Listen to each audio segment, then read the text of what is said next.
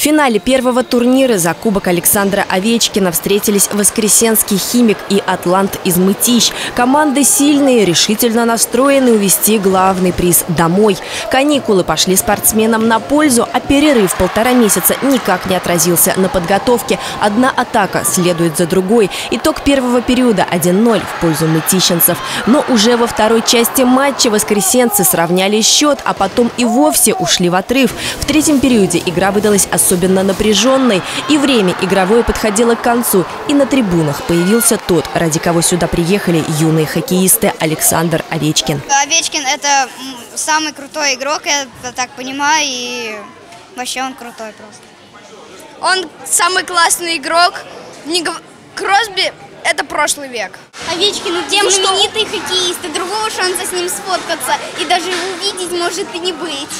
Это, я считаю, это раз в жизни можно так делать, потому что Овечкин – это вся легенда хоккея. Атаки «Атланта» не увенчались успехом. Первый кубок Александра Овечкина завоевал «Химик» из Воскресенска. Одинцовская «Армада» оказалась на третьем месте, победив балашихинского «Олимпийца». Последние в течение недели отрабатывали атаки, передачи и выходы из зон, но в решающей игре немного растерялись. Расслабились. Расслабились. Расслабились. А что это вы расслабились-то? Потому что мы сравняли с 3-1 до 3-3 и потом расслабились. А надо было... все легко. Да. А после этого надо было наверстывать дальше.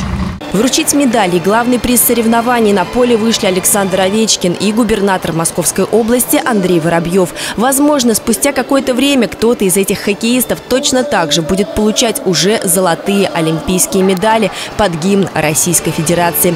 А пока они только делают свои первые шаги к большим спортивным победам. И для многих из них Александр Овечкин – образец для подражания, вдохновляющий усердно тренироваться и идти к поставленной цели, несмотря ни на на что.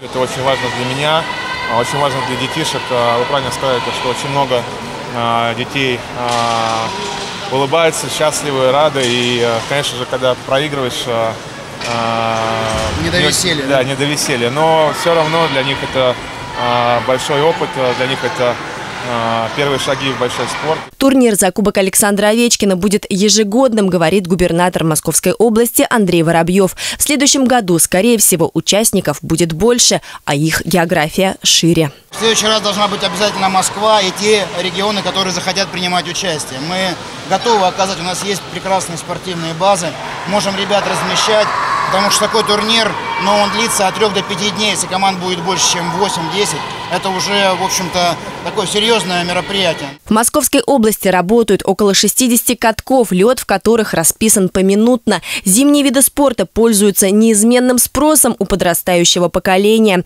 А такие соревнования в середине каникул для юных хоккеистов, как глоток воды в жаркий день. Долгожданное удовольствие. Евгения Августина, Артем Ломоносов, телекомпания «Одинцова».